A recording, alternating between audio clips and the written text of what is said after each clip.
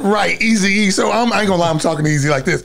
All right, Eazy E, what you want? Man? Hey, can you just sing a little? They told me about you. So I started, and so they started feeding me. Put on your red dress. And I was, you know, like you You know, it. you know, house in my home, anything at all. You can have it all.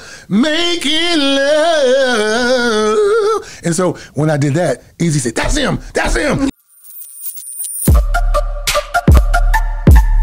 Yeah, on Boss Talk 101. Okay. You you you you you went to Eazy. You didn't bounce way away from. Okay, I'm sorry. Okay, so- I want to hear about Eazy too. You can't just skate across. I rocked out with Eazy, and and it didn't. You know, they picked him. And how did how was did you have a relationship with him? So this is what happened. The group, um, so Eazy liked the concept of the group, singing gangsters. He was like, "Oh, this is cool," and they had a nice look, but they didn't have a sound. So when I went and I auditioned, this is this is the, this is the truth. I went and auditioned. I went to this, and I wasn't. I really wanted my two cousins. My two cousins could sing really well. I come from a singing family, and so I wanted them to be a part of it. And I said, you know what? I'm in college now. I'm about to graduate. I'll be a manager. So I went to one cousin, and I didn't know that he was he was on drugs, and I didn't know that, and I couldn't find him for the audition. My other cousin, Zeandra, he he he he's still a minister of music right now in the Bay Area. Uh, I went to him. He said, God told me I'm not doing secular. I'm gonna do, and I'm like this. If I tell you I'm gonna do something, I'm gonna tell you about Deuce. If I tell you I'm gonna do something, I'm gonna either try to do it or my best. If I can't do it, I'm gonna try my best to do it. And my people and my friends and DJ Cali Remix will tell you. If I say I'm gonna do something, I go ahead and I say, okay, I'm gonna do it. So you're a man of your word. Yeah, I'm a man. Well, see, and that's another thing we need to teach about today's society.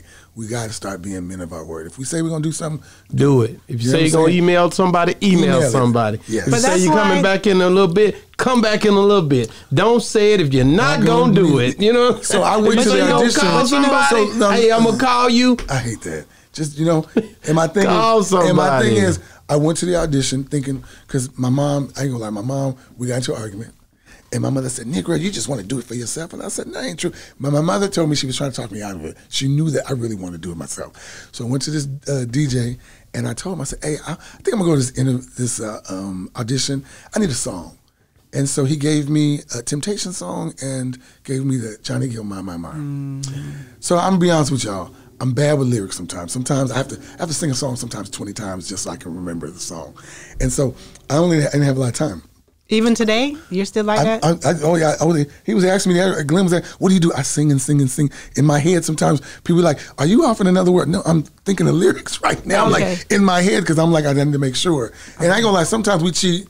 Sometimes you do the. Some people don't even know you do the first verse over again, and they don't even realize it. But but um, what happened is I went in there. And um, I put on the my my my, and back then you know we had the cassette You hit that thing, didn't you? We had to get, and so I'm all my my my my my my my my, my and I'm like, oh shit, I don't know. Excuse my friend. I don't know the rest of the song, so I just my my my my my my my. I just started, and God in my witness. You remember those? Remember they used to have the uh, curtains that used to go like this, Yeah. and the multi-purpose. And this white boy opens up the curtain and runs out. And at that time, in the 90s, they were doing it in Cali. They would call you and say, hey, you want a television? Come in. And you go there, warehouse, and you thinking, you go, oh, actually, you have a warrant for your arrest. it would. It was doing that. Right. And I thought, oh my God, I did something I forgot. So I just take off running. No. And the guys in the group that were there, they used to carry these little bats. I don't know if y'all see some pictures. We got pictures where we had our names on bats. And they just instinctively picked up the bats and ran after me.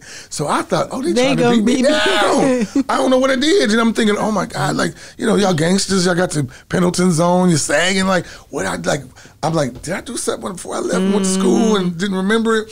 So they was running. They go, no, no, no, no. His name, and his name was um, Terry Heller. Okay. And it was Jerry Heller's nephew. Damn, mm. Jerry And- Heller. And what happened is he goes, "Oh no, no, no, no! It, don't- it, it's cool. It's all good. It's all good." He said, "No, I just haven't heard a voice like yours." Because now, mind you, I didn't think that out of everyone in the family, I thought I had the worst vo- voice. Wow. Because I was a Teddy Pendergrass kind of singer. Yeah, yeah, yeah, yeah. Everybody else had them sweet melodic, you know. Right. And I thought, well, but that was that's what made you different from everybody. Did you do the My God, My God? My God, my God, could you pass on a message for me?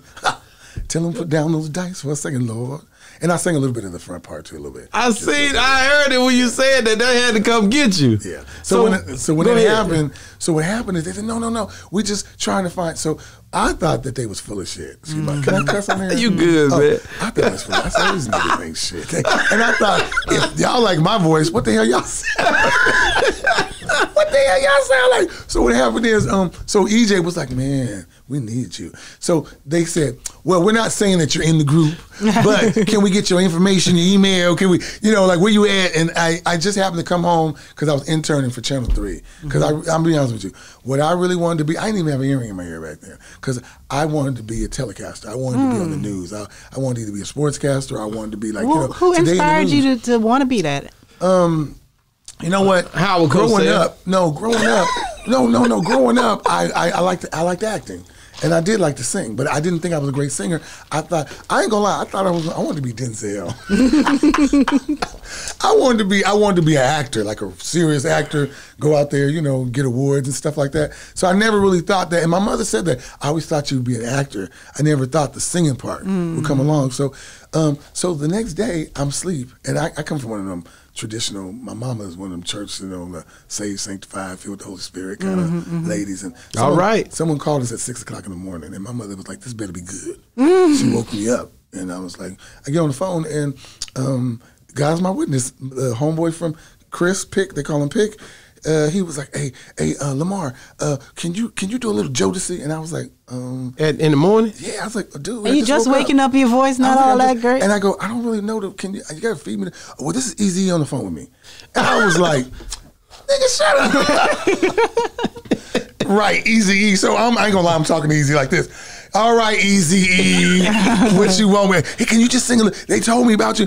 So I started, and so they started feeding me. Put on your red dress. And I was, you know, like you You know, it. you know, house in my home, anything at all. You can have it all. Making love. And so when I did that, Eazy said, That's him, that's him, that's it, that's it. And so he said, um, "What you doing tomorrow?" I said, "What? I gotta." I said, "What what I'm doing tomorrow?" And he said, "I need your name. I need your, you know, your." He needed all the information. And um, one thing I have to say about Eazy, he he got me a ticket. He got us a ticket the next day, and we flew out to L.A. and we were met at the um, airport with Hoes with Attitude. Remember Hoes with Attitude? They was there, and you know, he was like, "Whatever you want." I mean, he was just very accommodating, and it was cool. We met with them; they liked us, and then we heard that there was another group, and they were from St. Louis, and that was Bone Thugs-n-Harmony. And it was like we did it back then. This is, I'm real old school. We had things called demo deals, Okay. and the demo deals were three months. They gave you a three month, um, three months to be on the demo deal, and after the three months, once three months was up, they had one day to either decide to keep you or let you go. And I was told that um, because at the time, Suge Knight was interested in us. Um, we had a lot of people that were interested in the group. And um, at the time, our production company, Whole Nine, um, they had just signed a contract with MC Hammer. Yeah, we on Boss Talk 101.